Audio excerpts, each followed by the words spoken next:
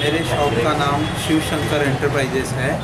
मेरा शॉप जलगांव में, पोलन पेड में, एक एक वन वन सेवन पोलन पेड में दाना बाज़ार शिव शंकर नाम से बेसन और चना दाल का मैन्युफैक्चरिंग हमारा बिज़नेस है।